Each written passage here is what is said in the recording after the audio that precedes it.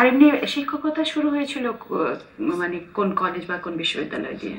আমি বললাম আমার প্রথম শিক্ষকতা হলো আহ, তখন বলতে east Pakistan university of engineering and technology আচ্ছা। এখন বলে বুয়েট। বুয়েটে। উনিশশো পঁয়ষট্টি সালের মার্চে আমি যোগ দিই কোন আচ্ছা। ডিপার্টমেন্টে পড়াতেন স্যার? হ্যাঁ? কোন ডিপার্টমেন্টে পড়ানো? তখন এমনি আমি পড়াতাম পলিটিক্যাল সায়েন্স সোশ্যোলজি কিন্তু আর্কিটেকচারেরও বেশ কিছু ক্লাস নিতাম আমাদের ওই যে টাউন প্ল্যানিং আরবান ডেভেলপমেন্ট এই সমস্ত আচ্ছা। কিছু। এবং তখন আর্কিটেকচার ডিপার্টমেন্টটা সবই খুলেছে। আচ্ছা। বুয়েটে ব্রুমেন বলে একজন প্রফেসর ইউনেস্কো থেকে তাকে দেওয়া হয়েছিল। তিনি আর্কিটেকচার ডিপার্টমেন্টটা খোলেন আহ, বুয়েটে কত সালে খোলা হয়েছিল স্যার? সেটা মনে হয় চৌষট্টি সালের দিকে আপনি বয়সটি থেকে পঁয়ষট্টি থেকে মানে একদম সদ্য হ্যাঁ, বুয়েট একদম হ্যাঁ, যেখানে হ্যাঁ। সেখানকার শিক্ষক। কত বছর সেখানে তখন ছিলেন? আমি অবশ্য বুয়েটে বেশি দিন ছিলাম না মাত্র এক বছর। পরে আমি ঢাকা বিশ্ববিদ্যালয়ে যোগ দিয়ে দিই তার উনিশশো ছেষট্টির মার্চে। স্যার আচ্ছা। ছোটবেলা থেকে সাহিত্যের সাথে আপনার বেড়ে ওঠা এবং আপনার স্কুল জীবন থেকে আপনি বলছিলেন টলস্টয় এবং আরও অনেক বিখ্যাত লেখকদের ইংরেজি সাহিত্য পড়েছেন। তো ইংরেজি কিংবা অন্যান্য বিষয় না পড়ে সমাজ বিজ্ঞানে পড়ার সিদ্ধান্ত নিয়েছিলেন কেন? আসলে এটা খুব ইন্টারেস্টিং প্রশ্ন আপনার। আমি আসলে বাংলা পড়তে এসেছিলাম। এবং আমি এর কাছে আহ, হাই সাহেবের কাছে বললাম হাই সাহেব তো আমার জ্যাঠামশাইকে চিনতেন খুব ভালো করে।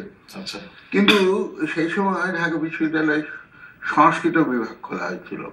এবং হাই সাহেব একই সঙ্গে বাংলা এবং সংস্কৃতের প্রধান ছিলেন উনি আমাকে বললেন যে, আপনি, তুমি সংস্কৃত পড়ো। ওটা পড়তে আমি রাজি ছিলাম না। কিন্তু ওকেও ইয়ে করতে চাইনি, বিরক্ত করতে চাইনি আমি। সেই জন্য উনি মন খারাপ করুন, এটা সেই জন্য আমি ভাবলাম যে, আমি বাংলাও পড়ব না, সংস্কৃতও পড়ব না। এবং আমার পাশে একজন খুব প্রসিদ্ধ সেই সময়কার শিক্ষাবিদ ছিলেন আব্দুল সোবান খান চৌধুরী। যিনি চট্টগ্রাম কমার্স কলেজ খুলেছিলেন মানে ওর হাতেই খোলা ছিল। এবং উনি সেই সময় ঢাকা বিশ্ববিদ্যালয়ের অর্থনীতি বিভাগের এক্সটার্নাল হিসেবে আসছেন। উনি আমার পাশেই থাকতেন জায়গায় এবং আমাদের সঙ্গে খুব আসা যাওয়া ছিল। তো উনি আমাকে বললেন যে তুমি উনি আমায় খুবই স্নেহ করতেন।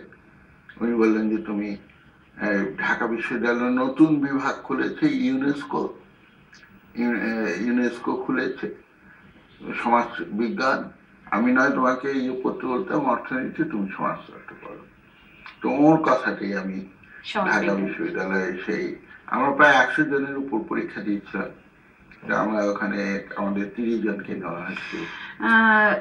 প্রথমেই শিক্ষকতা এবং সেটা বুয়েটের মতো একটি জায়গায়। এবং তারপরে ঢাকা আপনি আবার কানাডার জীবন, তারপরে আবার বিশ্ব ওগুলো আমরা বিস্তারিত শুনব। কিন্তু এর একটি প্রশ্ন রয়েছে, চাইলেই প্রতিটি মানুষ কিন্তু অনেক বড় প্রতিষ্ঠানের সাথে সংশ্লিষ্ট হতে পারে না। আর যদি বলি প্রাচ্যের অক্সফোর্ড, ঢাকা বিশ্ববিদ্যালয়, সেখানে আসার ক্ষেত্রেও কিন্তু মেধার নিশ্চয়ই বড় একটা পরিচয় রয়েছে। স্যার, ছাত্র হিসেবে কেমন ছিলেন আপনি? মোটামুটি বলতে পারেন। আমি বলব না যে আমি খুব অসাধারণ কোনো ছাত্র ছিলাম কিন্তু আমার শিক্ষকরা কেন জানি আমাকে খুব পছন্দ করতেন। প্রফেসর নাজমুল করিম তখন ঢাকা বিশ্ববিদ্যালয়ের সমাজতত্ত্ব বিভাগের প্রধান ছিলেন। উনি আমাকে বলতেন যে তোমার সমাজতত্ত্ব পড়ার সত্যিকারের যোগ্যতা এবং তুমি সত্যিকার অর্থে সমাজতত্ত্বের ছাত্র বলে আমি মনে করি। এই জন্য যে তুমি অর্থনীতি ভালো করে বোঝো মানে আমার আসলে ইকোনমিক্সে খুবই ইয়ে ছিল আমার আমার যে পিএইচডি থিসিস সেটা আসলে পলিটিক্যাল ইকোনমির উপর ডেভেলপমেন্ট ইকোনমিক্সের উপর। এবং তুমি ইতিহাসের আমার আমার ইতিহাসের বিষয়ে আমার খুব ভালো লাগে। এই সব মিলিয়ে উনি বললেন যে তুমি য- যথাযোগ্য ইয়ে আর কি। তো ওই সময় আমরা চারজন ঢাকা বিশ্ববিদ্যালয়ে শিক্ষক হিসাবে ঢুকেছিলাম। তার মধ্যে আমার দুজন বন্ধু আমার খুবই ঘনিষ্ঠ বন্ধু আবাব আহমেদ এবং এম এম রেজা তারা তখন সিএসপি হয়ে যান। আচ্ছা। আর আমরা দুজন থেকে যাই আমার আরেক বন্ধু উনি বয়সে অবশ্য আমার থেকে অনেক বড়। উনি কষ্ট করে লেখাপড়া শিখে আবার ইয়ে রঙ্গলাল সেন অনেকে হয়তো নাম শুনেও থাকতে পারেন। আমরা দুজন থেকে যাই ঢাকা বিশ্ববিদ্যালয়ে। পরে আমি তো আবার, যেহেতু চট্টগ্রাম আমার বাড়ি, এবং সেখানে আমি একটা প্রমোশন পেয়েছিলাম চট্টগ্রাম বিশ্ববিদ্যালয়ে ঢাকা থেকে যাদের নেওয়া হয়েছিল, তাদের প্রায় প্রত্যেকে একটি প্রমোশন দেওয়া হয়েছিল। সম্ভবত প্রফেসর আনিসুজ্জামান তখন ঢাকা বিশ্ববিদ্যালয়ের সিনিয়র লেকচার ছিলেন। উনিও রিডার হিসাবে যোগ তখন তো প্রমোশন একটা খুবই ছিল। কারণ বড় একটা বিষয় ছিল। যদি পজিশন খালি না থাকতো তারও আহ, ইয়ে, আমি যখন ঢাকা বিশ্ববিদ্যালয়ে ছাত্র হিসাবে যোগ দিই তখন মাত্র চারজন প্রফেসর ছিলেন ঢাকা বিশ্ববিদ্যালয়ে। চারজন। মাত্র চারজন। চারজন। পুরো বিশ্ববিদ্যালয়? পুরো বিশ্ববিদ্যালয়ে। তখন ছিল যে প্রফেসর কম অ্যাসোসিয়েট প্রফেসর কম এখন কিন্তু উল্টো হয়ে গেছে। এখন যে ইয়ে আপনার একটা প্রায় অটো প্রমোশনের মতো ব্যবহার হয়েছে রিস্ট্রাকচারিং এক এক জায়গায় এক এক নামে বলা হয়। এর ফলে একটা সময় শিক্ষকতা করলেই তিনি associate professor assistant professor associate professor বা প্রফেসর হন তখন কিন্তু এটা ছিল না। সেই জন্য শহীদুল্লাহর মতো ইয়ে উনি কিন্তু যতটুকু আমার জানা আছে যে উনি প্রফেসর হন ডক্টর স্যার- কথা বলছেন। স্যার এই প্রসঙ্গগুলো নিয়ে আমরা মনে হয় আরও কথা শুনতে বিরতির সময়। দর্শক যাচ্ছে একটা ছোট্ট বিরতিতে। আজকে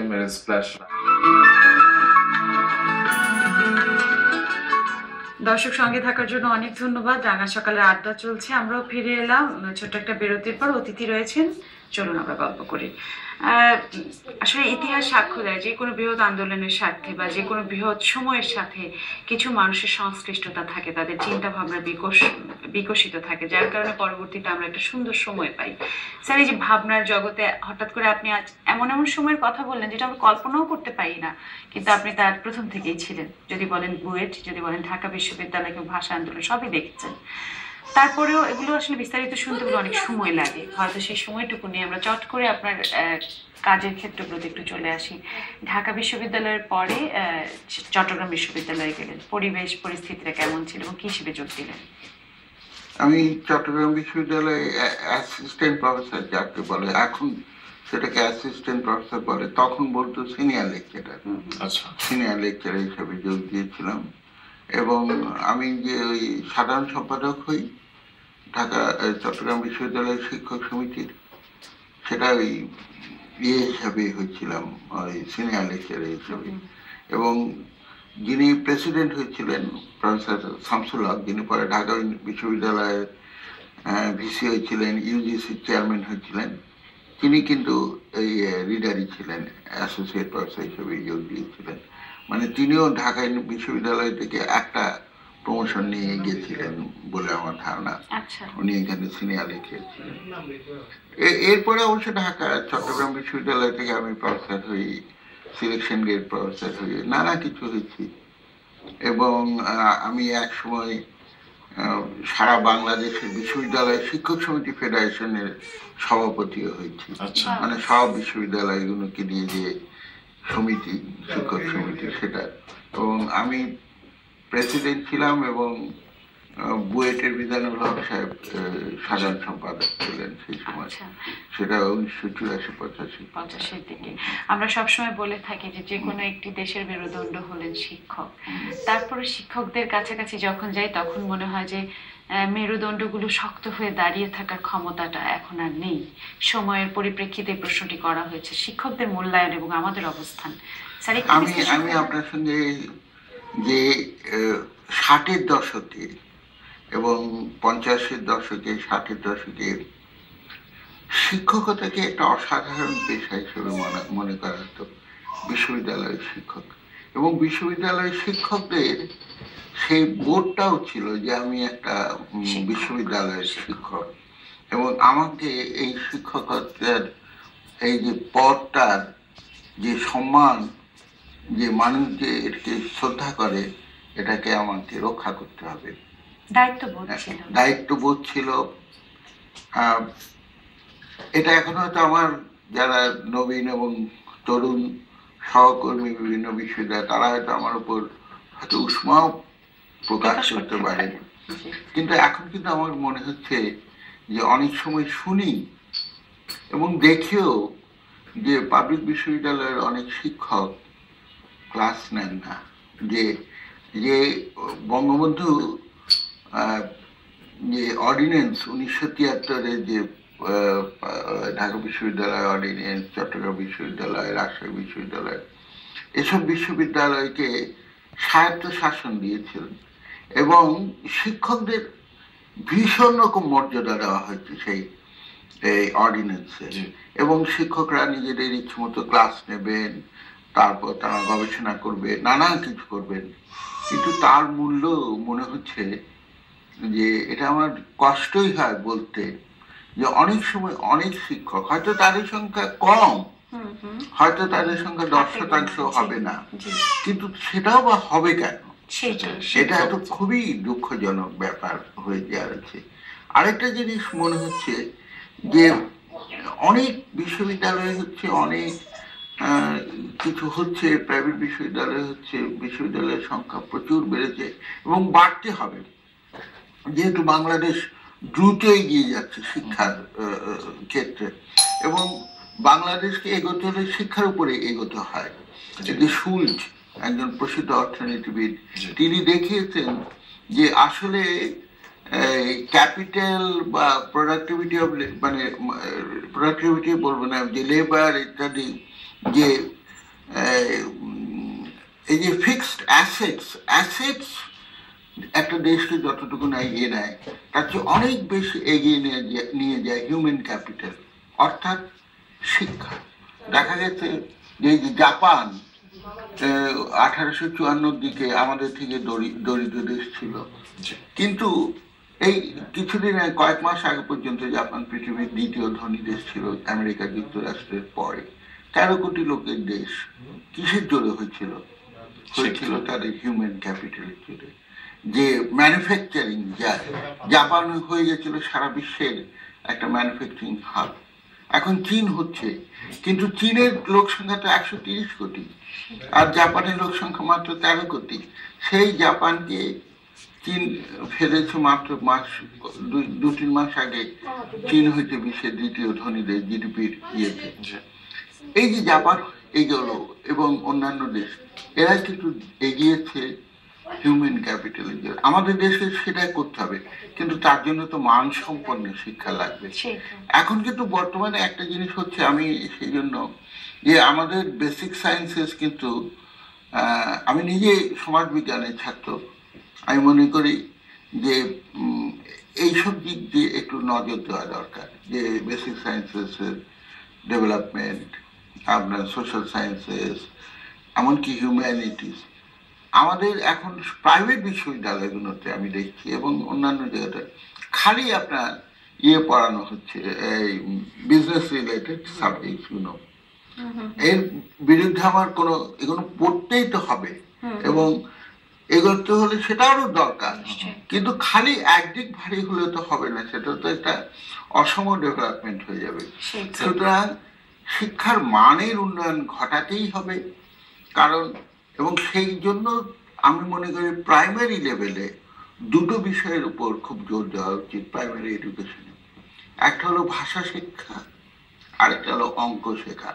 আপনি এই এক- যে কোনো একটা শিখুন আপনি বহুদূর এগিয়ে যাওয়া যাবে। স্যার আরেকটি প্রসঙ্গ একটু আপনার কাছেই শুনতে চাই যেহেতু আপনি একদম আমাদের প্রথম দিকের মানে আমি বলব শিক্ষক এবং আদর্শের জায়গায় রয়েছেন।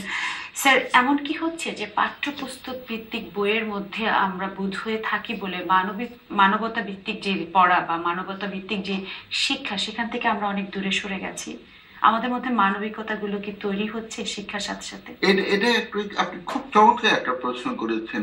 আসলে আমাদের ধরুন যে থার্টি থার্টিস নয়, আমাদের সেই ঊনবিংশ শতাব্দীর মাঝামাঝি থেকে এবং আমাদের পঞ্চাশের দশকে বাংলাদেশে যেভাবে সাহিত্য শিল্প ইত্যাদির চর্চা হয়েছে এবং প্রায় বলব যে নব্বই দশক পর্যন্ত বুঝতে পারছেন?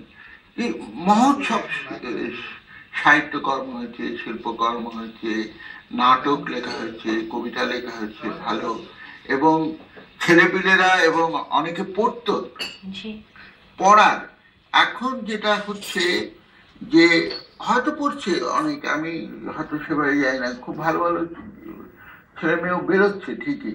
কিন্তু যে পরিমাণে আগে ধরুন আপনার যে কথাটা বললেন যে আমাদের মহৎ লেখকদের পড়া হতো সেটা একটু কিন্তু পড়া হয় না এবং আপনি যদি মহৎ লেখকদের না পড়েন আপনার মধ্যে তো সেই মহত্বের একটা জরিপে বের হয়েছে এখনকার প্রজন্ম খুব একটা বই পড়ে না। তারা অনলাইনে অনলাইন কোন আমি তার বিরুদ্ধে নই ইন্টারনেট থাকুক কিন্তু এটাই কিন্তু কিন্তু ছেলে মেয়েদের পড়তে হবে। কারণ না পড়ে খালি হবে, অনলাইনের মধ্যে দিয়ে কেউ কোনোদিন তার মধ্যে মানে মানবতা মানবতা বোধ। একটা মানবিক সমাজ বাংলাদেশ বাঙালিরা ঐতিহ্যগতভাবে বহু বছর ধরে আমরা জাতিসত্তা হিসাবে তো কয়েক হাজার বছর পুরনো বাংলা ভাষা এক হাজার বছরের পুরনো সেটাও যদি বাঙালি সবসময় মানবিক মূল্যবোধে খুব ছিল এবং এখনও আছে বলে আমার ধারণা। কিন্তু এই মানবিক সমাজটাকে এটাকে আরও মানবিক করতে হবে।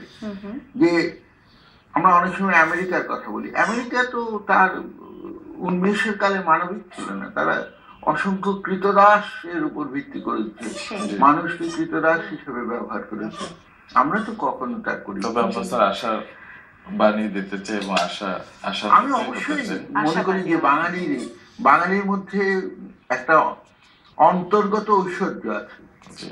বুঝতেছেন সেই ঐশ্বর্যের জোরে আমরা অনেক দূরে। স্যার আপনি ভালো থাকবেন। আমাদের সময় দেওয়ার জন্য অনেক ধন্যবাদ। মানবতার যে ঐশ্বর্যের কথা আমাদের প্রিয় শিক্ষক বলে গেলেন তেমনি করেই বলতে চাই এই ঐশ্বর্য যার মাঝে আছে তার পিছিয়ে থাকার কোনো উপায় নেই। কারণ তার সাহস অনেকখানি কারণ তার মানবতার ঐশ্বর্য রয়েছে। দর্শক ভালো